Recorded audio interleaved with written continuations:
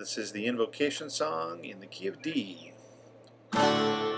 We make our beginning in the name of the Father. Make our beginning in the name of the Son. We make our beginning in the name of the Spirit. Holy Trinity.